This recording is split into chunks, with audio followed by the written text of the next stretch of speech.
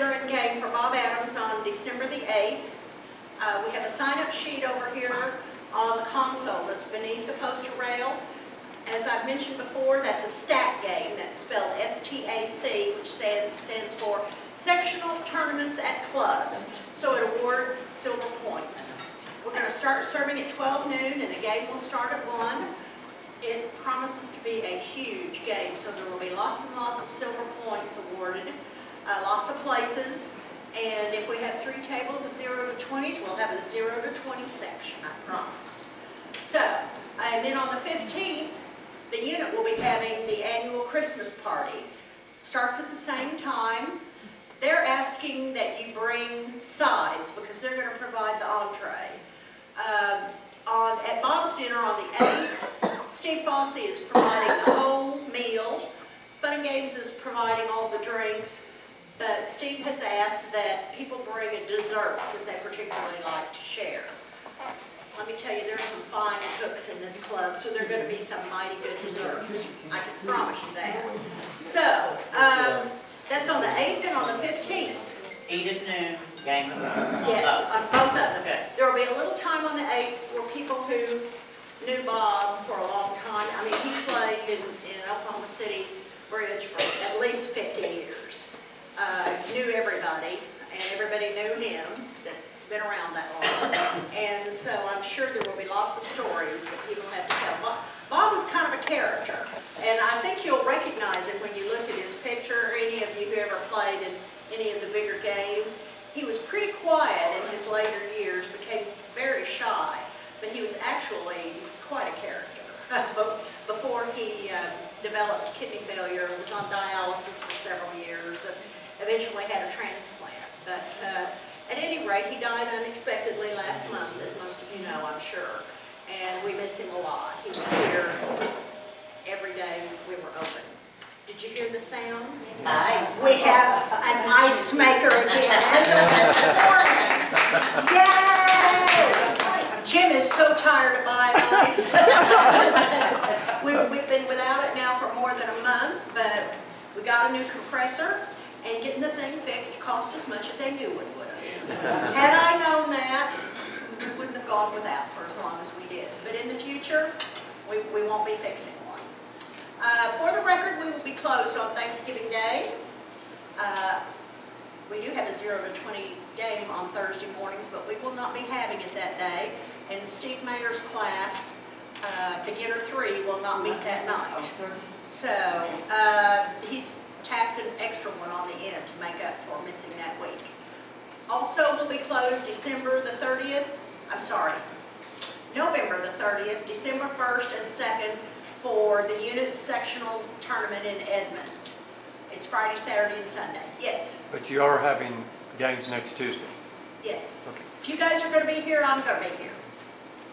No, that's, uh, I, I- I'm having the family Thanksgiving, like, I needed one more thing to do. But, um, I'm going to be here Tuesday night. Uh, So, anybody who's not having family come in or who finds themselves with a little time on their hands, come on out, we'll play some cards. No, well, and if you have too much family coming in, just bring them along.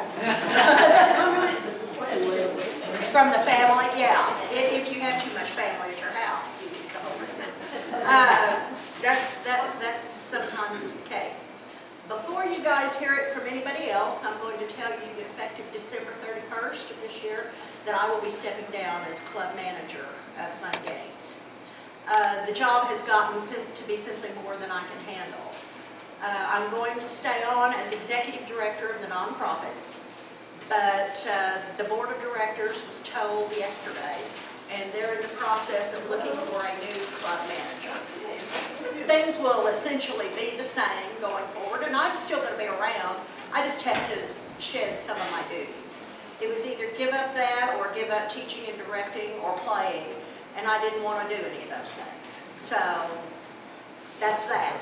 Uh, So good to see you. I'm, I'm, I'm sure I'm still be, still gonna be here, day and night, uh, just like I always am. But I'm just not gonna be doing the monthly reports and the, the shopping and the calendars and all that kind of thing. That's, yeah, all that fun kind of stuff, that's right, and handling problems with, I'm not getting your emails anymore, why am I not getting your emails?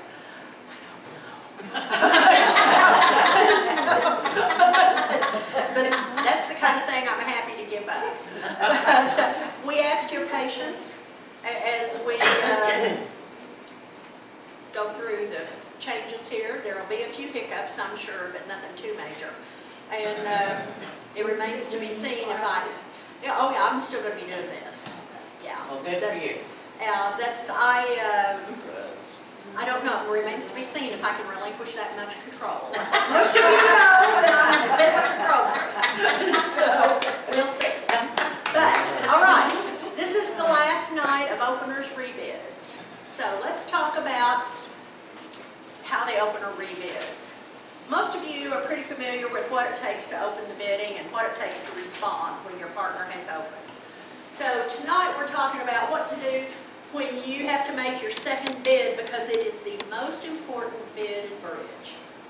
Here we've got a couple of examples because we've been talking about how to show the differing number of points in the hands. Uh, This first one, can all you guys down, down there see this one? North, these are all, North is the opening bidder on all of these. This is his hand.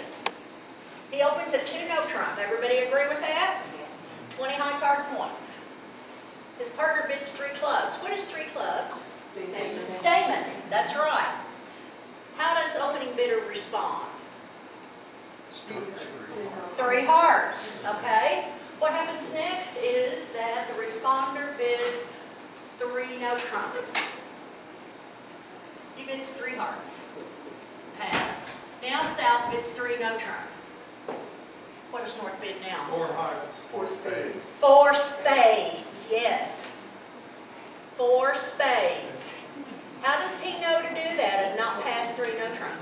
Because he did a Stayman, so he has a four card. Yes.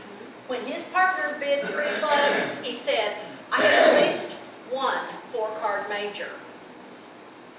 When you're responding, you bid your four-card majors up the line. Remember, four-card majors up the line, five-card majors higher ranking one first. So he bids three hearts first. Partner says three no trump. Nope, doesn't match, partner. So it's gotta match in spades.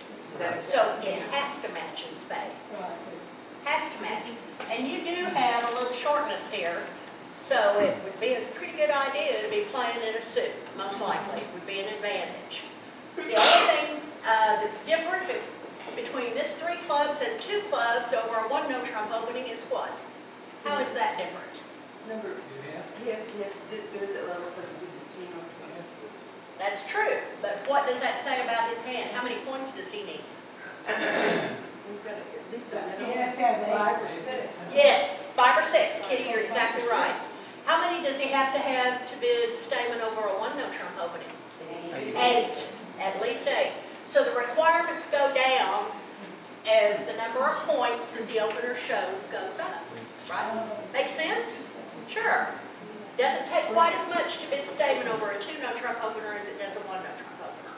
So, after West passes, North bids four spades. Confident that there's a four-four fit. All right, let's try another one. You guys did On the same one, let's say South bid, um, uh, uh, diamonds. Now, now he's transferring, right? Yes, yes, Can he do that? He can still do that with zero points? yes, absolutely, and should if he has zero points. Uh, Doesn't work well trying to play no trump out of your hand. Yeah. Ask me how I know that. All right. North hand, one heart. Everybody agree with that opening bid? Partner bids three hearts. What does three hearts show? Invitation.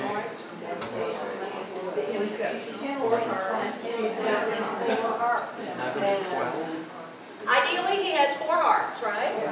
What's his point range? 11, 11 to 12, average of 11. Uh, A good 10 to a bad 12. Just give him 11 as a general rule of thumb. This is North's hand. What should he do next?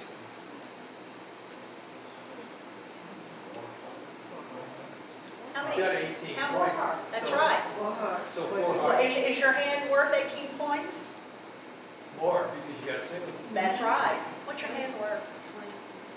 Twenty or twenty-one, isn't So it? would it be four no Trump then, or not high? Mike says four no trump. Anybody else think something else? I think here. Four hearts. I hear four hearts and I hear four no trump. Which one's right? This is how brave you are. No, doesn't depend on how brave you are. I think it's large because I would better single. Before no Trump says. All day long. You're asking. All day long. Really? Yes. This hand is worth, Once in this hand is worth eleven or twelve, and your hand is worth twenty, twenty-one. Um, I would, I would try. What happens is South bids five hearts. What does that mean? Yeah, Two aces. So what are you gonna bid? Six hearts. Yeah. Does it make? Well, hopefully. What, what happens if, it? what happens if it doesn't? Play the next hand. Play the next hand. That's right. Okay. You guys know me too well. All right. Here, here's another hand. This, this one's completely different. North hand, average opening hand, right? Nothing, nothing special. Opens a diamond and south bids a spade. What does he bid next? Two diamonds. Two diamonds. That's interesting. Why are we bidding two diamonds? Show that you've got more- more than, that you have five. When you rebid a suit, you generally promise six. Six, yeah. Yeah, so two diamonds is not the correct bid. How about no Trump? One no Trump? One. Okay, I hear a vote for one no Trump. Who thinks that's right? I do. That's- So, one no Trump describes this hand I found. perfectly. It promises at least two cards in partner suit. It says I don't have six diamonds. It says I don't have enough to reverse the hand in bid hearts. It says I'm balanced. And I have a 12 to 14 point opening hand. What could be more perfect? Describes that hand absolutely perfectly. If partner has enough to go on, he will, but he knows exactly what you have. This is a balanced hand, it's 5332, and that's one of the balanced hand configurations, isn't it? There are only three. Anybody remember what the other two are? Now, No, obviously not. how many spades, would he need six spades to bid two spades? The south? Would he need six If you bid- spades to if bid you two bid one spades? no Trump, He would, to bid two spades, he would have to have a dead minimum hand and five spades at least, preferably six, over the one no trump. okay. So it's a really poor, showing a poor hand. And that means fold them up, partner, we're playing it here. That's what that means. Anytime responder bids a suit and then rebids it at the cheapest level, it means I have the dead minimum and we've got to play it here. If we have a choice at all, so that's what you do. Uh, unless you have a huge hand. Uh, and if you do, then if your hand isn't huge enough, then it's on you for bidding on, because partner warned play the next game. Yeah, and if you, and if you go for a telephone number, you just play the next hand, that's all. All right, let's say that this guy bids three no trump. We're gonna come back to this one in a minute because I have a question for you about playing no trump. Here's another one. One club, pass, one spade, pass. What are you going to rebid? First off, how many points do you have? Eighteen. 18. High card points, right? So what is your bid? Two hearts.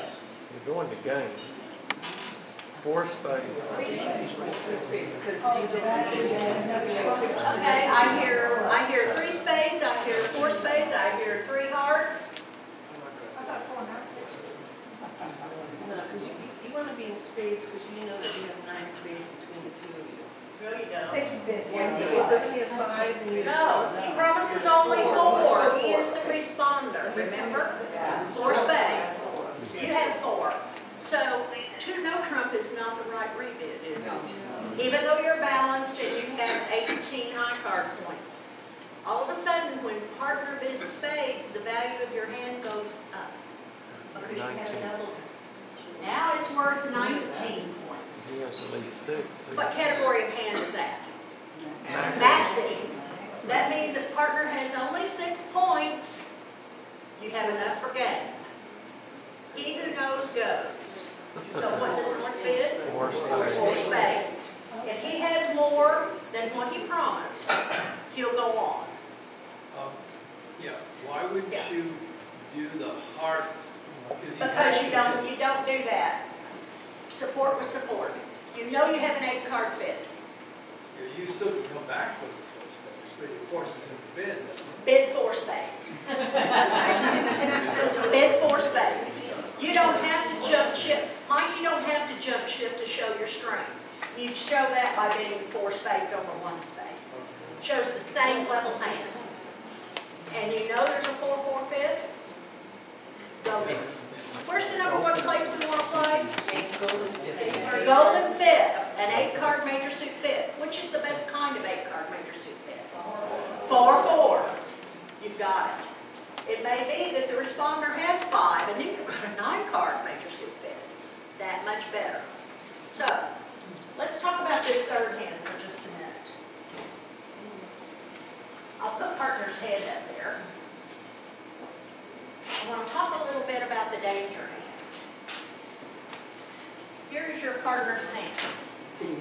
Let's put it down here, make it easier to see. This is what my spade suits usually look like, just in case. What does partner bid after you bid one no trump? What's he gonna bid now? Can you see that? Uh, It's got 13 points in it. Would he go one club just because he has four little clubs, I mean, one spade, uh, one partner? No, it's after one. One diamond, one spade, one no trump, three no trump. He's oh. checked for, he's checked for a four-four spade fit. Partner denied it, says I have a minimum opening hand. Well, I have enough for game. He who knows goes, so he bids it. How many tricks do we have in spades? None. How many, how many tricks do we have in spades? We have zero. Spades, we have No zero. guarantee. You don't know where the ace of spades is, that may be dead in the water. lose that key. How many heart tricks do we have? You lose that Two. key. Okay. I lost How many it diamond again. tricks do we have? Two. Two. And how many club tricks? Three. Three. Oh, oh. What does that add up to? Seven. Seven. Seven, is that enough? No. Now, the opening lead is the queen of hearts. What else does the opening leader have?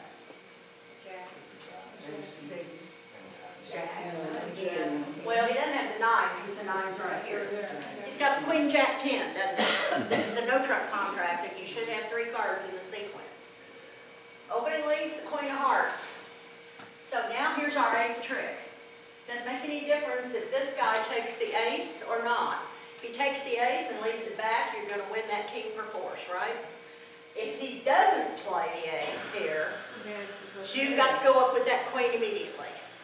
Because if he holds the trick, well, he won't hold the trick with the queen.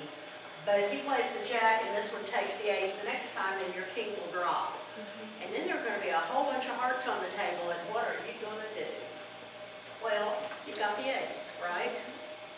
But, what's worse than a heart lead for you? Spades can be really bad.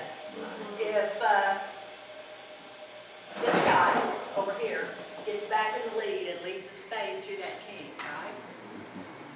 So whatever you do, you don't want this hand on lead. You have eight tricks in the bank, don't you? Where are you going to get the ninth one? Diamonds. Diamonds. How are you gonna play the diamonds? Ace, king, No. What if, what if they don't, what if they don't draw? two? What, what, what's, how, how are four outstanding cards in a suit most likely to break? Three, one. Three-one, that's right. So you got, you gotta lose one. You gotta lose a trick, don't you? Yeah. Gotta lose a trick. What happens if you lose it to this guy over here? bad Bad, really bad. So if you're going to take a finesse, you need to finesse in this hand, into this hand, because he can't hurt you. Do you see that? This is called the danger hand, because if he switches to spades, this is the dummy, by the way. And if he gets in the lead, or this fellow gets in the lead, dummy on the right, lead the weakest suit inside. If he's on lead, he puts a spade, looking up, looking at this dummy, weakest suit of spades. It's what I do. I put a spade on the table. And, and you know that he, no, can't since you. Well, yeah, he knows that you don't have four spades because you're not playing in spades. And then when this spade suit comes down, this guy's kicking himself for not leading the spade. But you never know what somebody's got when they bid a spade, do you? So, the concept here is the danger hand, and that is the hand that can lead through your exposed king. This is called a hanging king. And you want a hand that has a hanging king to be the declarer, so the lead comes up to it. That's another reason we use transfers and Stayman when we open a no trump, is to make sure that the strong hand with these kings in it has the lead coming up to it. We'll talk more about the danger hand in a week or two. How about that? Once upon a time, George Bernard Shaw was at a dinner party. And he was sitting next to a. And they were having quite the conversation. They were pretty smitten with each other. And eventually he says, would you sleep with me for a million dollars? And the woman says, well, I believe I might. And he says, well, then how about for two dollars? Well, what do you think I am, a common whore? Well, my dear, we have already established that fact. Now we're just haggling about the That's one of my favorite stories.